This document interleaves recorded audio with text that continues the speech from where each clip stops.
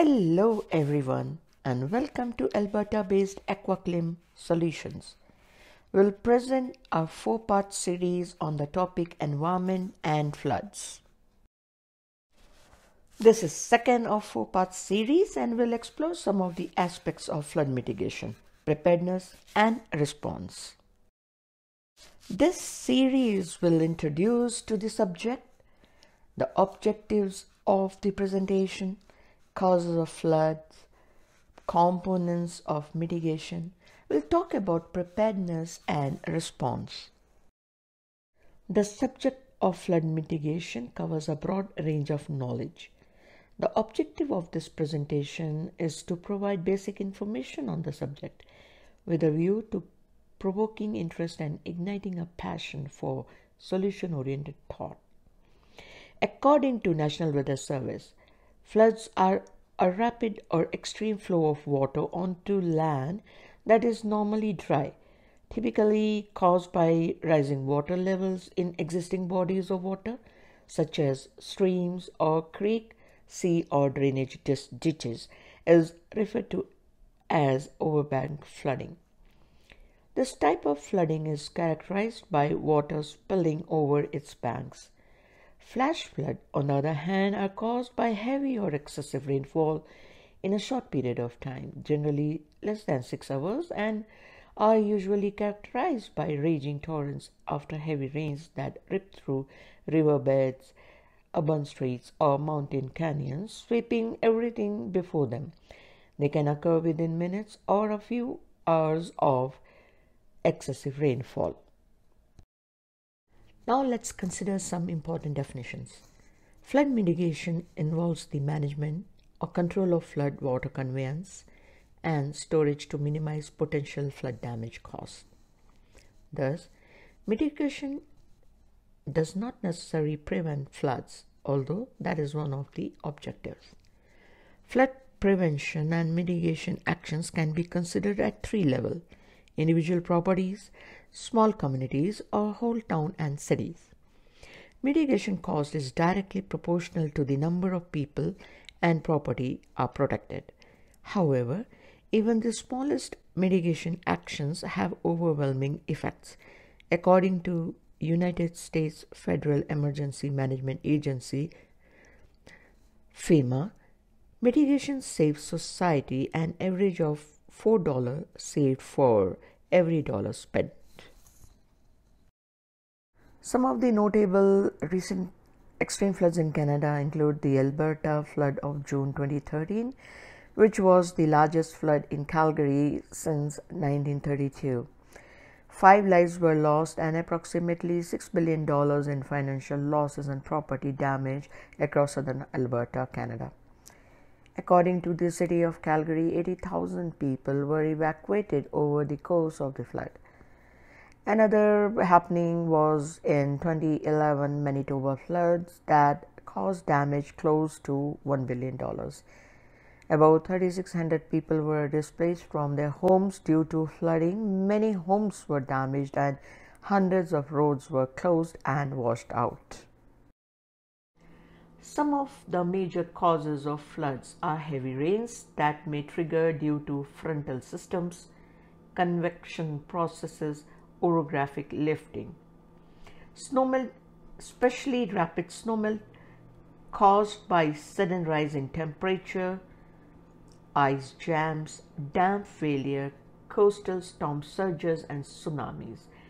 Factors that enhance floods are land slope, which vary from gentle to steep, lack of vegetation, deforestation, moist soils like heavy rains on moist soils are likely to lead to more extreme floods compared to dry soils. Lack of flood control infrastructure climate change due to warmer temperatures have the potential to increase the frequency and magnitude of flood episodes. Flood preparedness and response is the process of understanding the risks of flooding, creating plans to prepare for and respond to floods, and taking action to minimize the impact of flooding on people, communities, and the environment. Preparedness includes activities such as creating floodplain management plans, educating the public about flood risks and response, and monitoring sources of flooding. Response includes activities such as evacuation, sandbagging, and aiding affected communities.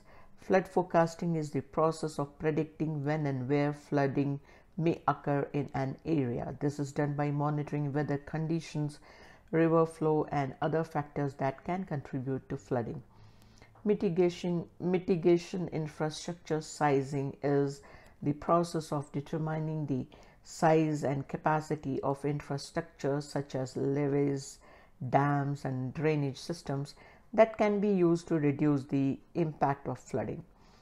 This process takes into account the size of the area affected by flooding, the amount of precipitation expected, and other factors that can affect flooding. Mitigation and potential climate change adaptation are strategies used to reduce the effects of climate change. Mitigation focuses on reducing the greenhouse gas emissions that cause climate change as well as designing appropriate structures for flood control, while adaptation focuses on preparing for and responding to the impacts of climate change. Examples of mitigation and adaptation strategies include improving energy efficiency, developing drought resistant crop varieties, and building coastal defenses.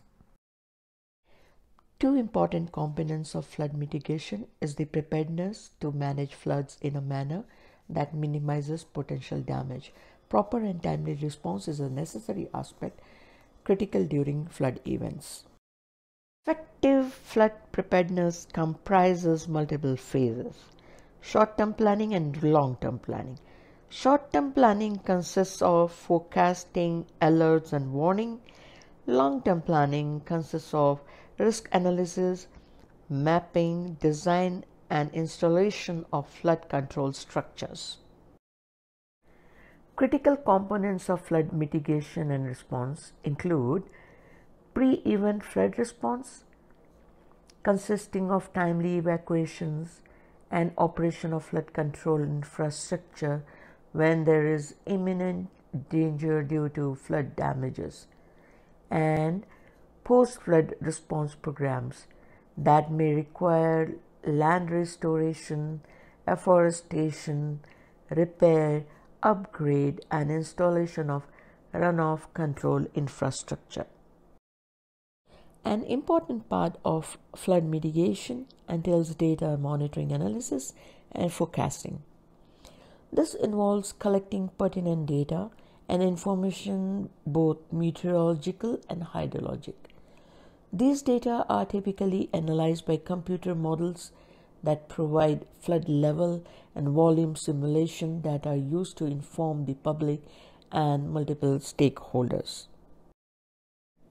Preparedness through design of flood control infrastructure include runoff conveyance systems such as culverts, ditches as well as flood storage facilities such as dams, reservoirs, stormwater ponds, flood barriers, dikes, etc.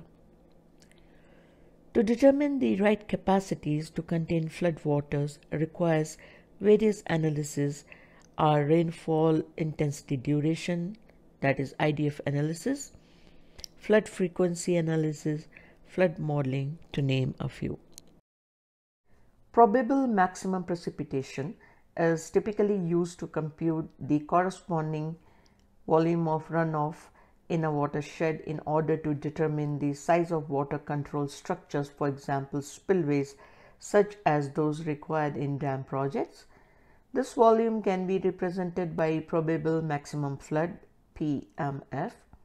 PMF is the greatest realizable flood assuming complete coincidence of all factors that would produce the heaviest rainfall PMP and maximum runoff flood of unknown.